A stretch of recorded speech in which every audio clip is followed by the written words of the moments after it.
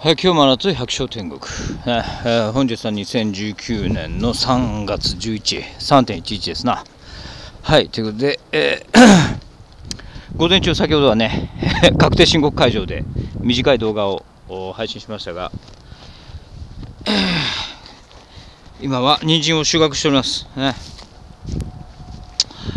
えー今日はこうやって午後からね、午前中確定申告行って午後からはこうやって人参の収穫をしてるわけですけども。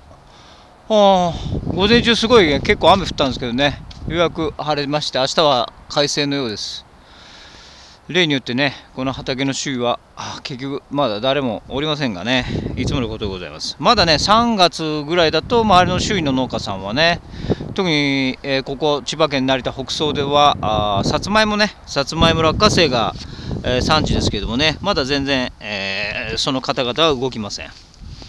さあ人参をね、えー嫁と取っとるわけですが。畑はねこのようにデロンデロンでございますね。さあ今日の話すテーマはー農家とお金ね。確定申告というものをやるとね必ず、えーそのことをねえー考えなくてはいけない時期なわけですよね。えーでまあ、なんでしょう。有機農業の世界に入って私はまあ20年ちょっと経つわけですけれども、あの不思議なものでね、やっぱりオーガニックとか有機農業をやってる人というのは、なんか一般的にどう思われてるかか本当によくわかんないですけど、やっぱりこうふわっとした感じに思われてるんですよね。なんでしょう、なんかお坊さんとか、なんかあの何に何に一番近いんでしょうね。でもいわゆるその一つのその特に普通の農家と違って特にそのオーガニックな農家とかっていうのはなななんか仙人とかね、えーコンビニも行かないとかあそういうようなイメージですねあくまでもね。っていう風な感じで捉えられて思われるようなことがまあ多いなというふうに感じるんですね。でまあ仕事私にとっては仕事なんですけどもね。仕事仕事なんですよ。でだけどもおなんでしょう。ね農産物を生産してそれをお届けして販売してそれで飯を食ってるっていうね。何らあの一般のその会社にお勤めしている方々と変わらないお仕事をしてるわけでね。皆さん方がオフィスにね電車や車に乗ってオフィスに行って仕事をしてね。そして、えー帰ってくるように私も毎日畑に行って仕事をして家に帰ってくるわけですね。基本的には多分そんな変わらないだろうとは思ってるんですけど多少風変わりではありますが屋外で働く仕事ですけどもね。あのでもやっぱりこうなんか現代は本当に、えー生産という場所と消費という場所がこれほどね離れてしまった時代っていうのは多分ないでしょうからやっぱりこう畑と都市に置いてるこの距離っていうのはやっぱりねすごく遠いわけですよね。だから特にオーガニックの農家有機農家って言ったら一般のね農家さんっていうのはあ直接触れ合うことはなかったにしろ僕らの方がまだ割とね消費者と触れ合うことは多いわけですけどもそういうイメージでね思われていることが何て言うんでしょうね多いですよね。でやっぱりそのイメージギャップっていうのはねなかなかなもんでございます。ね。えーたまにね、都市なんかに行くと、そのように異様に持ち上げられそうな雰囲気になることがありますね。で、その辺はね、え有機農家っていうのは皆さん、ある程度長くやってる人はみんなそのイメージを、えー中には楽しんでる人もいるし、えー嫌う人もいるし、あるいはそのイメージをうまく利用して乗っかっていく人もいますね。いろいろです。えー長くやってると本当に、えーそのイメージ自体はね消費者の持つそういうオーガニックっていうものに対するイメージっていうものと自分との距離ってだいぶね遠いんですよ。特にね、えーなんでしょう花とかあお化粧品とかを生産しているところはどうかは知りませんけどね単なるこれでしょこれ。ね。毎日これですよ。で泥んこだらけになってね。ですから土木というかねその普通のあの建設業とかそういったものと基本的に何ら変わりないものなのであのそういうおしゃれでもないしそうですねおしゃれっていうね多分最も農業からは遠いもの。ね。ですよ。なのでねそういうイメージが本当に何て言うんでしょう。ねだから僕にとってはこれ仕事なんですけどもだからやっぱりその辺のねお金っていうもの有機農業とお金っていうことになってくるとやっぱりねあの遠いんですよ。だのでそこで有機農業を長くやってる人はみんな戸惑ったりします。なぜならば仕事においてやってるわけでお金のことをねしっかりやらなきゃいけないんですけど意外とねそうでない。でやっぱり、えー、我が農園に限ってということを言わせていただくと、え、年間契約をしておるわけですね。たまにねお金払わない方いらっしゃいますね。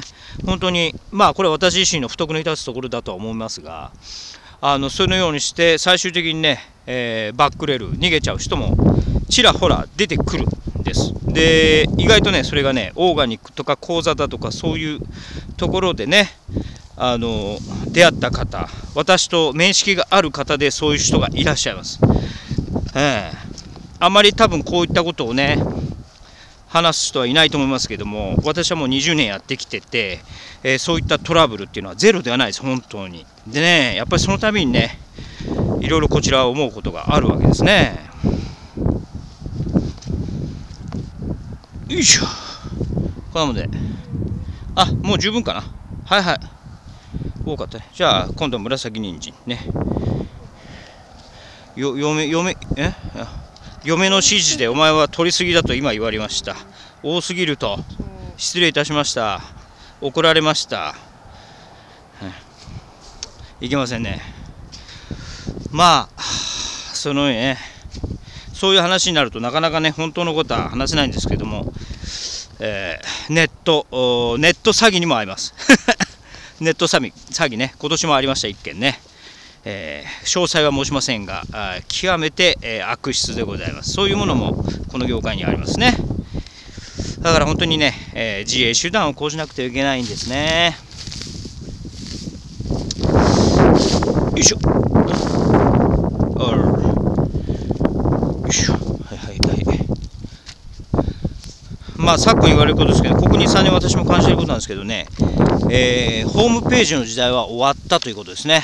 ホームページからなんかこうね、昔のようにね、検索して、Google 検索だとかしてくるというのはね、本当にここ数年、ここ2、3年ですね、本当にあの減っております。ね。我がの絵もね、一応検索には引っかかるだけのアクセス数はあると思うんですけども、それでもね、えー、ホームページ上からそういった形っていうのは本当に、やっぱりもう時代はそういう意味ではあの SNS に移行してるんでしょうね。それはすごく感じます。いやまあそういう意味ではね、今我が農園は YouTube をこうやって一生懸命やっておりますがね、どうなるんでしょう？これもね、よく分かりません。取れないと。はいはい。よいしょ。よいしょ。よいしょ。よいしょ。よいしょ。すいません。これ取れてます？取れてますね。どうもね、結局あれから電気は寄ろうと思ったんですけど、ちょっといけなくて、早急にね、えー、この動画の道具を買ってこいと思ってます。もうしばらくお待ちください。20分以上のね、動画配信をすると、勝手に、えー、デジカメは止まります。どんなデジカメなんだって話ですけど。よ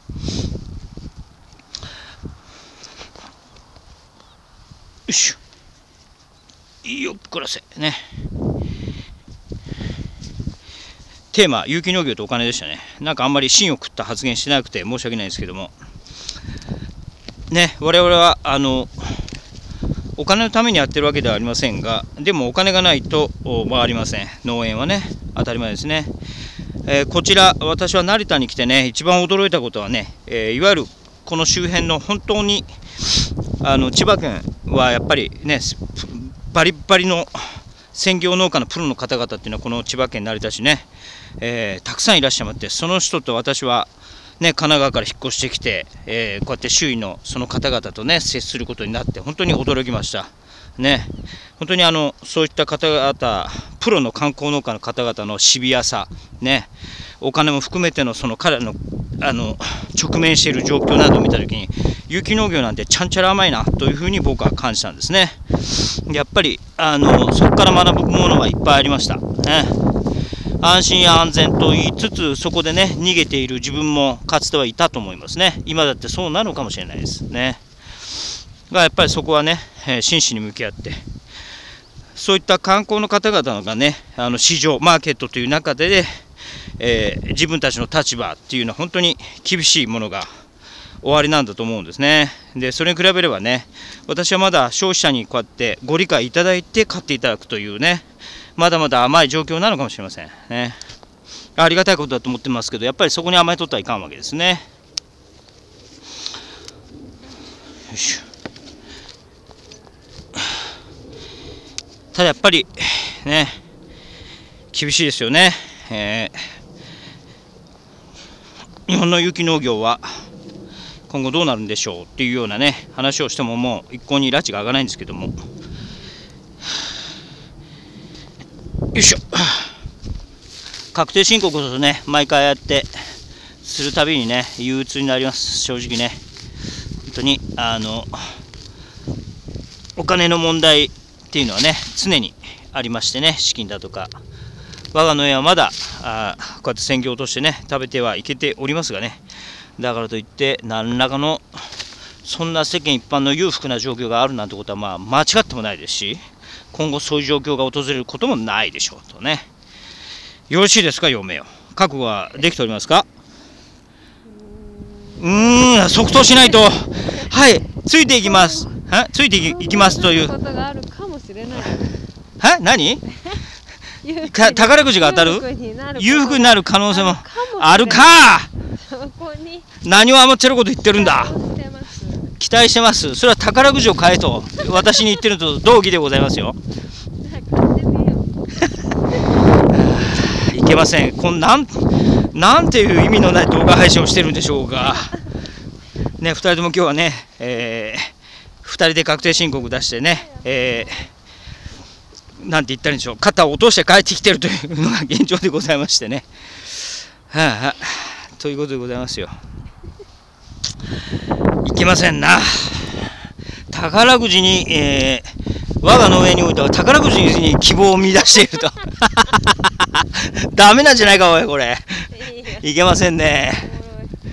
えー、そんなことでね、えー、これを見て野菜お野菜を買っていただけるお客様がいるんでしょうか？果たして。いけません。何をしましょう？かね。当たった暁にはお客様100名様お野菜無料プレゼントとかしますか？ああね。どうでしょうか。ね。だからお客様ねあのー、我がの上に宝くじが当たるように祈ってくださいってなんかそれ筋違いなお願いをしてしまし いけませんということでそうそう動画ね多分デジカメがねほんと最近調子悪いんでここら辺で切れちゃって申し訳ないんで一旦ここで終わりますけどえ今日は3.1ですよ、ね、それに関してはちょっとブログで書きますが、3.1に関してはもう何も何もってことです。はい、ということで今日は人参の収穫をねしている百姓農園の動画でございました。はい、それではまた。